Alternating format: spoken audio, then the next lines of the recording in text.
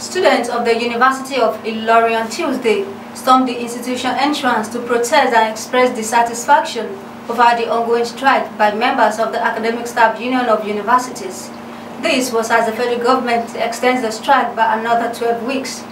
The students held placards and posters to protest the strike and called for resumption of classes with immediacy.